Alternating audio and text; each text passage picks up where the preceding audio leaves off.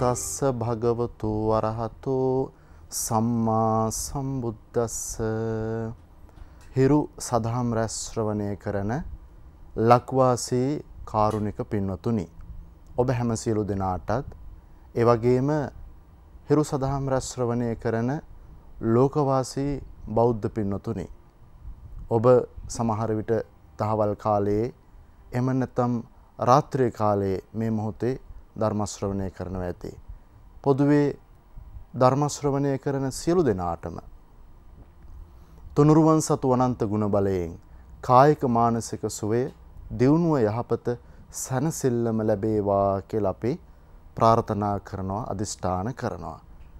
මං කල්පනා කළා අද ඊටාම පහසුවෙන් අවබෝධ කරගන්නට පුළුවන් ඒ වගේම වහවහාම පුහුණු කළ යුතුම කාරණාවක් පිළිබඳව දේශනා කරන්නට. ඒ තමයි මේ අපේ ජීවිතයේ අතහරින්න තිබෙන දේවල් ගැන අවබෝධයක් ඇති කර ගැනීම. මොනවද අපේ ජීවිතයේ අතහැර ගන්න තිබෙන දේවල්. දැන් අපි පින්නතුනේ අතහැරීම අතහැරීම කියලා අපි නිතරම කතා කරනවා. හැමදේම අතහරින්න අතහරින්න කියලා කියනවා. එතකොට මේක සමහරලාට එක පැත්තකින් මහා වදයක් වෙන්න පුළුවන්. ඔක්කොම අතහැර දාලා මේ ඊට පස්සේ කොහොමද ජීවත් වෙන්නේ කියලා. කොහොම නමුත් අපි යම් අවබෝධයක් ඇති කර ගනිමු මේ මොනවද අපේ ජීවිතයේ තිබෙන අතහැර ගත යුතු දේවල්. ප්‍රධාන වශයෙන්ම පින්නතුනේ දැන් අපි හිතමුකෝ කෙනෙක්ගේ ජීවිතයේ මේ දැඩි ලෝභය කියන එක තිබෙනවා නම් එයාට සාර්ථක පවුල් ජීවිතයක් ගත කරන්න අමාරුයි. ඒ වගේම එයාට සමාජ සේවකයෙක් විදියට සමාජයට යම් උපකාරයක් කරන්න පුළුවන්කමකුත් නැහැ.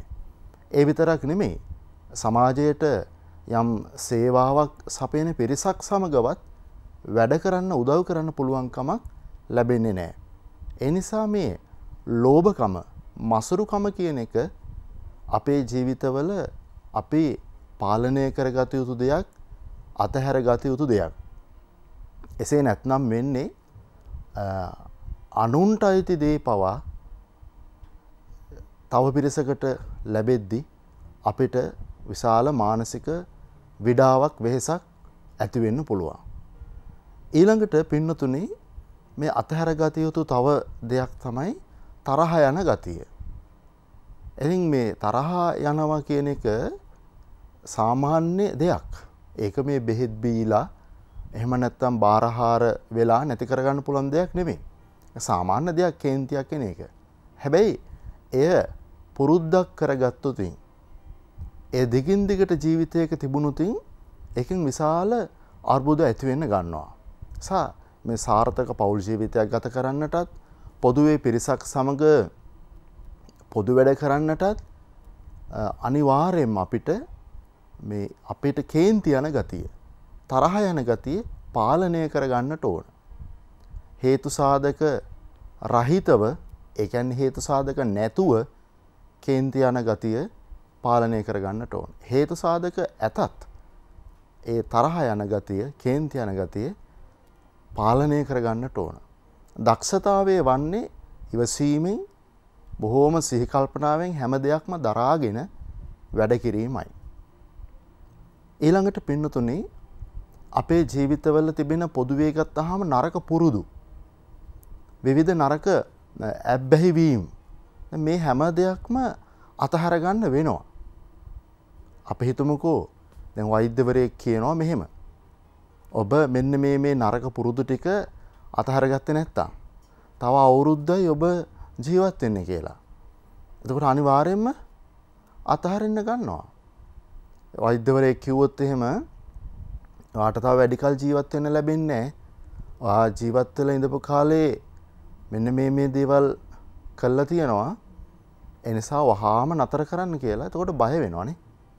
එහෙමනම් මේ ධර්මය තුළ කියන්නේ ඒ නරක ජීවිතයට එකතු වෙන කලින්ම තේරුම් අරගෙන අතහැරගන්න කියලා. ඒවගේම තමයි වෛද්‍යවරය ගාවට යන්න කලින් ධර්මය තුළ කියන ඔබට අඩපාඩුකම් දුරුවලකම් අතහැරගන්න කියලා. එහෙම නැතුනූතින් අපිට ජීවත්වෙන්න තියෙන කාලය ඉතාම අඩු වෙනවා. වර්ණය අඩු වෙනවා.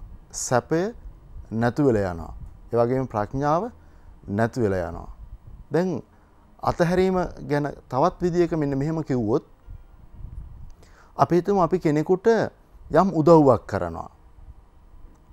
අපිතුමකෝ අපි යාට රැකියාවක් ලබා දෙනවා. එහෙමන් නැත්තං අපි වෙනත් විදික මේ ආහාරවේලකින් උදව්වක් සපයනවා. එම නැත්තං නේවාසික පහසුකං අපි සතියක් දෙනවා. ඔය වගේ වෙනත් හදිස්සියේ මුදලක් එල්ලුවොත් දෙනවා. වගේ මොකක් හරි වෙනත් විදික උදව්වක් කෙනෙකුට කරනවා. ඒ උදව්ව කලාට පස්සේ අපේ හිතට දැනෙනවා යම් සුවයක් යම් සතුටක්. ඒක ඔබට අධ්‍යනය කරන්න පුළුවන්. කෙනෙකුට ඉගෙන ගන්න කෙනෙකුට උදව්වක් කළොත් ඔබට දැනෙනවා සතුටක්. එක ඔබට ඔබට අධ්‍යනය කරන්න පුළ ඔබට එක දැනෙන දෙයක්. ඔය විදියට කාටහරි උපකාරයක් කළහම ඔබට දැනෙනවා ඒක. ඊට පස්සේ ඔබව ජීවත් කරවන්න ඒ දැනෙන දේට පුළුවන් වෙනවා.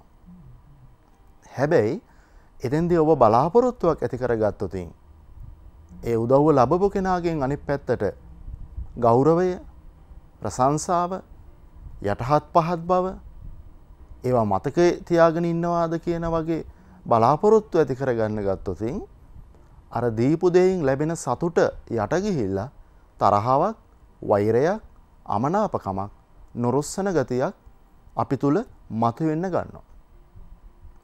අන්න ඒ අපි තුළ මතුවෙන ඒ නුරුස්සන ගතිය ඒ තරහ අමනාප ගතිය ඒ වැරදි වැටහීම් ගතිය විසින් තවතවත් අපි අන්න අයට උදව් කරන්නේ නැති කෙනෙක් බවට අවශ්‍ය කරන පරිසරය හදල දෙනවා. එනිසා මේ උදෑසන අපි හැමෝම කල්පනා කරගන්නට ඕන දැන් සමහරු මේ උදේ කාලේ රැකියාවට යන අය සතිය දවස්වලත් රැකියාවට යන අය කාරයකින් අපි දැකල තින වෙනත් වාහනවලින් යන ගමන් කුණු පාරසලයක් ගිල්ල තැන්තැන්ල විසිගන්න පාරයිනි විසි කල්ල යන. ආය හැරිලවත් බලන්න ඒ දිහා. ආය මේ මතක් වෙන්නේම නෑ මතක් කරන්න කැම්මතිම නෑ. බැරි වෙලාවත් හරි කාර්යාලෙදී ඒක මතක් වුණුතින් ඒ ගැන පොඩ්ඩක්වත් හිතන්නේ. කවුරුහරයවෙල්ල ඇහුවොත් දන්නවත් නෑ. ඒ තැනවත් නිකමටවත් හිතින් හිතන්නවත් නෑ. අන්නේ වගේ තමයි අපි කෙනෙකුට රැකියාවක් දුන්නොත් වෙන කෙනෙකුට උදව්වට ආහරවේලක් දුන්නොත් කෙනෙකුට ඉගෙන ගන්න උදව්වක් කලෝතින් මොනයම් හෝ ආකාරයක පිහිටක් වුණෝතින් ඒක ඒක එතනින් ඉවරයි. ඒක ආයි අර කුණු පාර්සලේ උදේට කාර්යකය ඔබ යන ගමන් විසි කරා වගේ තමයි ඒකත් එතනින් ඉවරයි. ආයි නැවත මුකුත් හිතන්න යන්න අවශ්‍ය නෑ. එතකොට ලැබෙන්න තියෙන සතුට ලැබෙන්න ඇත්ත නැහැ. ලැබෙන්න තියෙන ආස්වාදය ලැබෙන්න තියෙන ආධ්‍යාත්මික ශක්තිය ලැබෙන්න ඇත්තෙන හැ.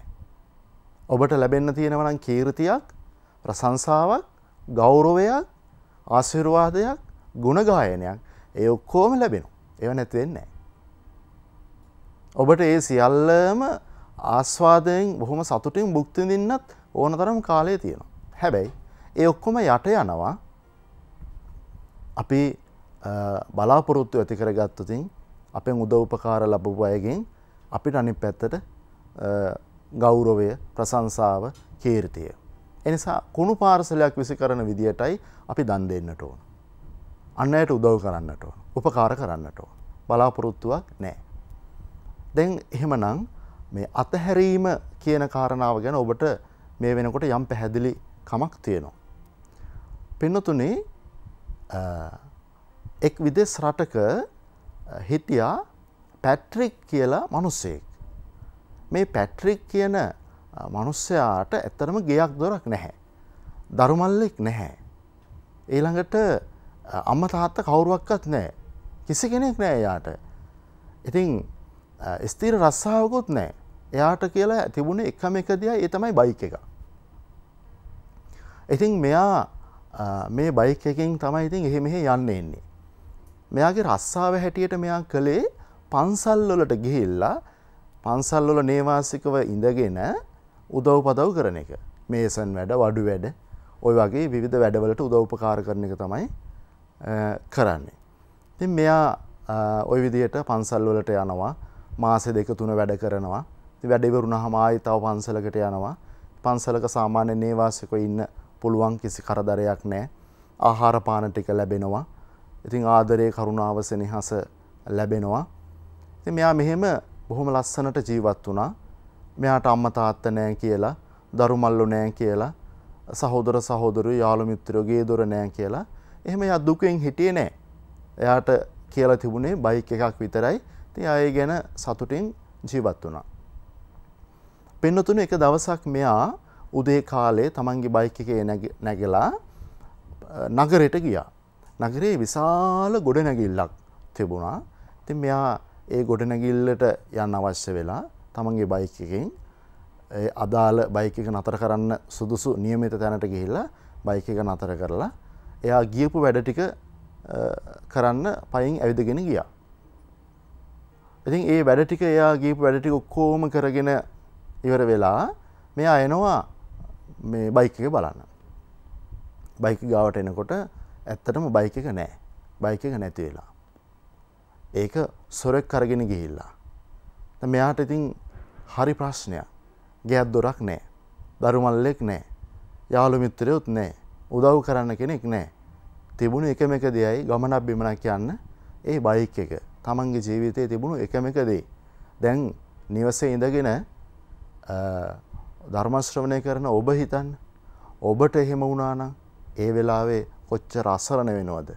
මොනවද ඔබ හිතන්නේ? කොයි විදියට ඔබ කෑ ගහයිද? අවට ඉන්න අයට බනීද කෑ ගහයිද දැක්කේ නැද්ද කියලා. සාල ප්‍රශ්නයක්. බයික් එකක් නෙමේ සෙරෙප්පුවක් නැතුනහම අපි දැකලා තියෙනවා සමහර කොච්චර කෑ ගහනවද? සොයනවද කලබල වෙනවද? ඉතින් ඒ විදිහටම මෙයත් කලබල වුණා. ඇයි? තියෙන එකම එක දේ වෙන මොහක්වත් නැහැ. මේකෙන් තමයි රට වටේ හැමතැනම යන්න එන්නේ. ඉතින් ආයේ බයික් එකක් ගන්න එයාට මුදල් නැහැ. ඉතින් මෙයා කලබල වෙලා කෑ ගහලා හැබැයි ක්ෂණිකවම එයා අනිත් පැත්තට හිත හදාගත්තා. එයා හිත හදාගත්ත කමක් නැහැ. බයික් එක කවුරු අරන් ගියත් බයික් එක නිසා මගේ ජීවිතේ මම සතුටින් කාලයක් ගත කළා. අන්න ඒ සතුට කාටවත් අරගෙන යන්න බෑ. බයික් එක අරන්ගෙන ගියා. එයා දැන් බයික් එකේ යයි. මෙතනින් එහාට උරුමකාරයා එයා වෙන්න පුළුවන්. ඒකට කමක් නැහැ. මෙතෙක් කල් මම තමයි ඒ බයික එක උරුමක්කාරය වුණේ. කමක් නෑ. එයාට බැරි වුණා මගේ සතුට නැති කරන්න. දැන් ඔබට පැහැදිලිද.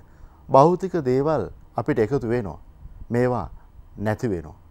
හැබැයි ඒවා තියෙන කාලේ අපේ ජීවිතවලට ලබා දුන්නාන යම් සතුටක් ඒ සතුට අපිට තියාගන්න පුළුවන්. ඒ සතුට කාටවත් නැති කරන්න පුළුවන් එකක් නෙමෙයි. ඔබේ ප්‍රියයන් ඔබව දාලගයා නම් කරන්න දෙයක් නෑ. හැබැයි ජීවත්වල ඉඳපු කාලේ ඔබේ ප්‍රියයන් ඔබව සතුටු කරා නම්. ඔබට ආදරයෙන් කරුණාවෙන් කතා කරා නම් අන්න ඒ සතුට කාටවත් අරගෙන යන්න බෑ. ඒ සතුට තුළ ඔබට ජීවත් වෙන්න පුළුවන්. ඒ සතුට තුළ බොහෝ කල් ඉන්න පුළුවන්. ඒ සතුටත් නැතිවුණොත් ජීවත්වෙන් අමාරුයි.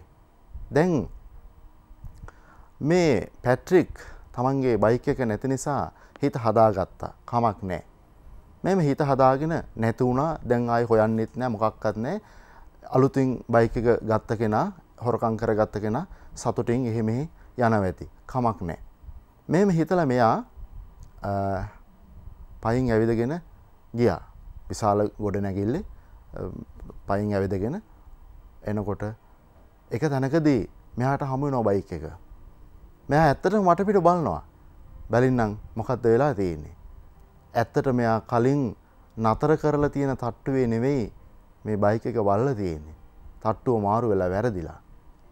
කලබල වුණේ. නියමිත තට්ටුවට ආවට පස්සේ දැක්කා ආ මම මෙතන නේද බයික එක නතර කරලා තිබුණේ. කලින් තැන නෙමෙයි. මට වැරදීමක් වුණේ. දැන් මේ කතාව ඇතුලේ අපිට ගන්න දෙයක් තියෙනවා.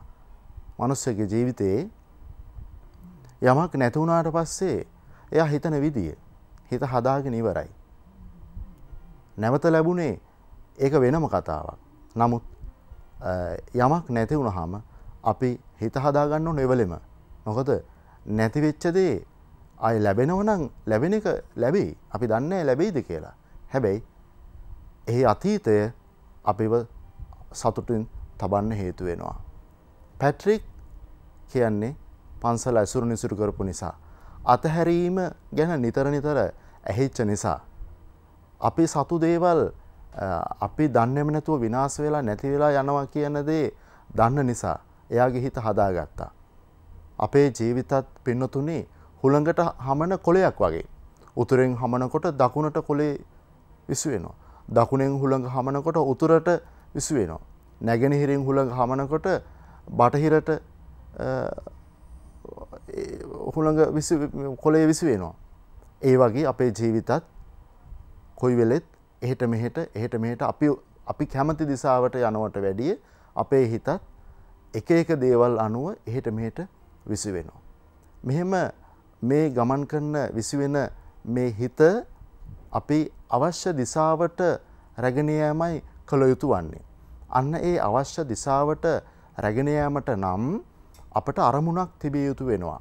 මොකක්ද අරමුණ සාර්ථක ස්වාමි පුරුසයෙක් සාර්ථක බිරිඳක් සාර්ථක අම්ම කෙනෙක් සාර්ථක පිය කෙනෙක් සාර්ථක මනුස්සයෙක් කියන මෙන්න මේ අරමුණට එන්නට ඕන.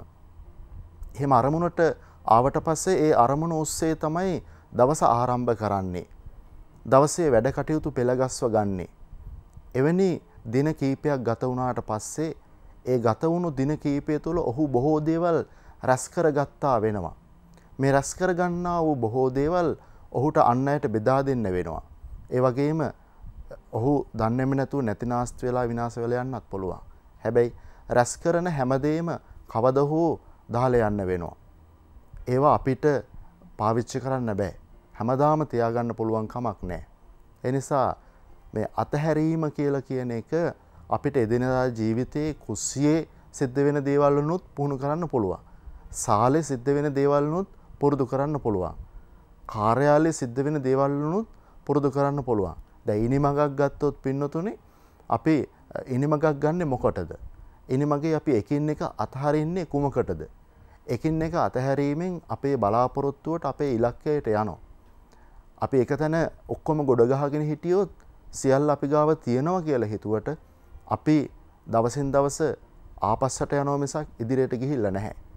දැන් මේ අතහැරීම ගැන ඔබට තවත් වටිනා අවබෝධයක් ඇති කරගන්න පුළුවන් විදිහේ කතාවක් මම කියන්නම්.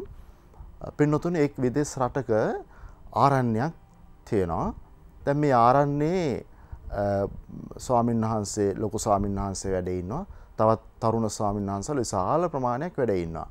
ඉතින් මේ ආරණ්‍යයට යන මිනිස්සු හරියට වර්ණා කරන්න ගන්නවා. මේ ආරණ්‍ය මල් වවලා තියෙනවා, ගස් කොළන් ලස්සනට තියෙනවා, දිය ඇලි තියෙනවා, සත්තු ඉන්නවා, හෙවණයි, නිස්කලංකයි, හරි සුන්දරයි. ඉතින් මේ ආරණ්‍යයට යන එන මිනිස්සු අර ලොකු ස්වාමීන් වහන්සේ ගාවට ඇවිල්ලා ඉතින් උන්වහන්සේට පින් දෙනවා. අනේ හරි ලස්සනයි. ස්වාමීන් වහන්ස ආරන්නේ හරි පින්වන්තයි හරි පිරිසිදුයි. මේ මේ සත්තු සුරතල් සත්තු ඉන්නවා. ඉතින් කැලි කසල නෑ. බොහොම සාන්තයි. ඉතින් අපි හරි ආසයි අපි හරි සතුටුනා කියලා මේ වර්ණා කරනවා මේ වර්ණනාව දැන් ලොකු ස්වාමීන් වහන්සේට දැනෙන්නේ එකක් තමයි අහලා අහලා අනිත් එක තමයි ඒවා ඒ වර්ණා කරාට උන්වහන්සේගේ ඔළුවේ තියෙන වෙන වෙන දේවල් ඒ තමයි උන්වහන්සේගේ ඔළුවේ තියෙනවා මේක සේවකයෝ ඉන්නවා. ඔය සේවකයන්ට ගෙවන්න ඕන. ඊළඟට තරුණ ස්වාමීන් වහන්සේලා ඉන්නවා. උන්වහන්සේලට අවශ්‍ය නේවාසික පහසුකම් මදි. ඊළඟට ගොඩනැගිලිවල කැඩිච්ච බිඳිච්ච තියෙන ඒවා හදන්න ඕන. අලුතින් ගොඩනැගිලි හදන්න ඕන. ගස් කොළන් සමහර ඒවා කපලා අයින් කරන්නට ඕන. සමහර තැන්වල අලුතින් වවන්නට ඕන. සමහරුන්ට වැඩ පැවරුවා ඒව හරියට කෙරිලා නැහැ. පණිවිඩ යවුවා තාම කවුරුවත් ඇවිල්ලා නැහැ. ලයිට් බිල් වතුර බිල් ඔයාදී වසයෙන් ප්‍රශ්න ගොඩක් උන්වහන්සේ ඒ වගේ ඒකට ඔක්කොටම හිර වෙලා. තිං අර ආගන්තුකව එන අය දකින මේ මිහිරියාව මේ ලස්සන උන්වහන්සේට එකෙක්කෙන ඇවිල්ල කිව්වට උන්වහන්සේට ඒකින් සතුටක් දැනෙන් නැහැ. උන්වහන්සට ඒකින් විඩාවත් දැනෙන්නේ මොන කරදරයක්ද.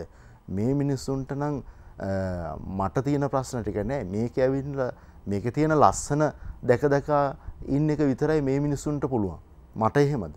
මං කොච්චර මේ ප්‍රශ්න ඇතුළද මේක ඉන්නේ. සේවක පඩි නඩි ගෙවන්න ඕන වැඩ කෙලවරක් නෑ. ආහාර ප්‍රාණ ප්‍රශ්න තියනවා කෙලවරක් නෑ. ඉතින් ඒ විතරක් නෙවෙයි. මිනිස්සු ආරන්නේ තියෙන ලස්සන සුන්දරත්වය කියනෝ විතරක් නෙමෙයි. තමා තමන්ගේ තියෙන පෞද්ගලික ප්‍රශ්න ගෙවල්ලොල තියෙන ගැටලු ප්‍රශ්න පවා උන්වහන්සට ඇවිල කියනවා. උන්වහන්සේ ඒවට උත්තර දුන්නහම ඒ උත්තරේ පිළිගන්නේ නෑ අර ප්‍රශ්නය අහන කෙනා එයා උත්තරෙත් හදාගෙන තමයි එන්නේ. ඊට පස්සේ ඒ ඒ උත්තරයම තම එයාම එයාම දෙනවා ඒ උත්තරේ. ප්‍රශ්නය අහන කෙනාම උත්තරෙත් දෙනවා. ඉතින් ඒකිනුත් පිඩාවට පත්වෙන්නේ මේ ආරන්නේ ලොකු ස්වාමීන් වහන්සේ මේ මිනිසුන්ට උත්තර දුන්නට වැඩක් නෑ ඒගොල්ලො හිතාගෙනාව උත්තරේ තමයි ඒගොල්ලො පිළිගන්න කියලා. ඉතින් මෙහෙම යනකොට උන්වහන්සේට ලොකු විඩාවක් වෙහෙසක් මහන්සයක්.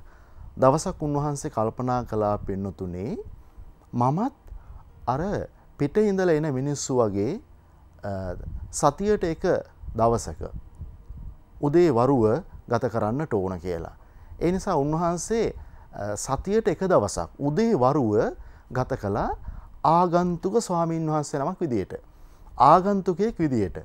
එතකට උන්වහන්සේ එදා දවසේ ඔය ලයිට් බිල් වතුර බිල් ටෙලිෆෝන් බිල් සේවක පඩි නඩි කෑමබීම ඊළඟට ගොඩ නැගිලිවල ප්‍රශ්න කැඩිච්ච විදිච්ච පළුදු වෙච්ච මොනවාවක් ගැන හිතන්නේ අර ආගන්තුකයෝ ආවහම කොහොමද බලන්නේ කහපාට මල් තියෙනවා රතුපාට මල් තියෙනවා සුදුපාට මල් තියෙනවා ඒ මල් අතගානවා ඒ මල් වල සුවඳ උන්වහන්සේ බලනවා. ඊළඟට පඩි තියෙනවා පඩි උඩ වාඩි වෙනවා. ඊළඟට සත්තු ඉන්නවා සත්තු දිහා බලනවා සත්තුන්ගේ නම් මතක් කරනවා. ඊළඟට සත්තුන්ට කතා කරනවා. ඊළඟට පොඩි පොඩි දිය ඇලි තියෙන යෝදිහා බලාගෙන ඉන්නවා. ඊළඟට තනකොළ පිට්ටෙන තියෙනවා ඒ තනකොළ පිට්ටෙනයේ උන්වහන්සේ ඇවිදිනවා පා කකුලේ තනකොළ ගෑවෙන ස්පර්සය ගැන අධ්‍යනය කරනවා මෙම බොහෝම සැහැල්ුවෙන් සතියක් ගත කරනවා. ඒ සතියට සැරයක් උදේවරුව ගත කරනවා. දැම් බලන්න පින්නොතන උන්වහන්සේ සියලූ දේවල් අමතක් කරලා ආරන්නේ සුන්දරත්වය විඳන එක. දැන් මේක ඇතුළ ඔබටත් කරන්න පුළුවන් දෙයක් තියෙනවා. කාර්ය බහුල ජීවිතයක් ගත කරන කාර්ය බහුල නැතුව ජීවිතයක් ගත කරත්. සතියට සැරයක් එක වරුවක් උදේ කාලයේ ගෙදර ඔබ ආගන්තුකයෙක් වෙන්න.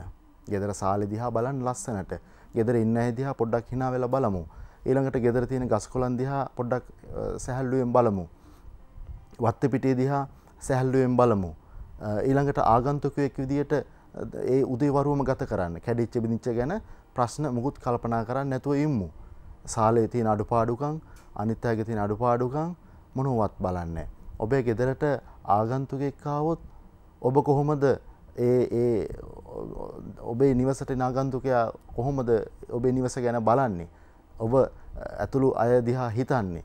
ඔබේ කුස්සේටිකත් ඒගොල්ල කොහොමද ඒක සැරිසරන්නේ. අන්නේ විදියට කිසිදු වගකීමක් ගන්න ඇතුව තනිකර සතියක් විවේකයක් ගන්න.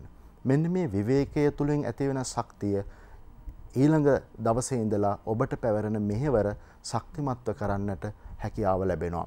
නව චින්තනයක් ඔබ තුළ ගොඩනැගෙන්න හේතු වෙනවා. මෙන්න මේ විවේකය අවශ්‍යයි. මං ඔබට අද කිව්වේ අතහරින්න පුරුදු වෙමු කියලා. මෙයත් අතහැරීමක්. සියල්ල අතහැරලා සතියට දවසක් එක වරුවක් ඔබ ඉන්න. ඔක්කොම අතහරින්න ගෙදර තියෙන දේවල්.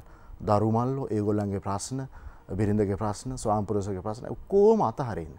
සියල් අතහැරලා එක වරුවක් ජීවත් වෙන්න. ඒ වරුව ඔබේ ජීවිතයේ කවදාවත් ඔබට මේ හමු ප්‍රශ්නවලට උත්තර ලැබෙන් නෑ කියල හිතපු ඒ ප්‍රශ්නට උත්තර ලැබෙන්න ගන්නවා. එනිසා හිරු සදහම් රැස් ශ්‍රවණය කරන්න හුරු පුරුදු වෙල සිටින ලක්වාසී සියලූම පින්නතුන්ටත්. ඒ වගේම ලෝකය පුරා මේ හිරු සදහම් රැස් ශ්‍රවණය කරන හැම සියලු දෙනාටම අපි ප්‍රාර්ථනා කරනවා. ධර්මයේ ආශිර්වාදය ඔබට ලැබෙන්න ඔබට ලැබෙන්නේ ඇහුවටම නෙමෙයි අහලා එය පුරුදු කළෝතින් පුහුණු කළෝතින්. එනිසා හැම සියලු දෙනාටම තෙරුවන් සතු අනන්ත ගුණ බලයෙන් ජීවිතවලට සාන්තිය සැනසිල්ල සහනය ලැබේවා කියලා අපි ප්‍රාර්ථනා කරනවා.